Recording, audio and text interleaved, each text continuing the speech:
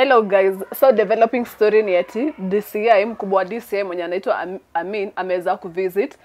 DJ Fatso's apartment yenye ni Red, Redwood apartment. So wameweza kuvisit na kucollect more evidence na pia ku kuanalyze the environment tukingoja the, the exhumation of body ya Jeff yenye waliweza kusema itaweza kuexhumiwa on Friday. Pia despite everything ikihappen, I think hii kesi ya Jeff ni it's big than we think juu sai it has been weeks na hakuna anything yenye ina come up.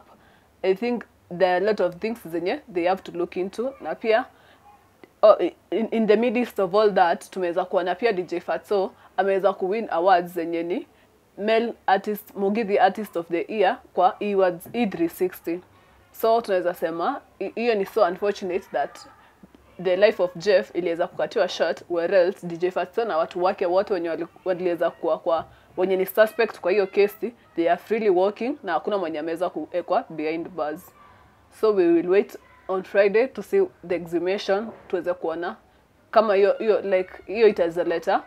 some speed up kwa kesi yenyewe. Don't forget to like comment and subscribe to my channel for more videos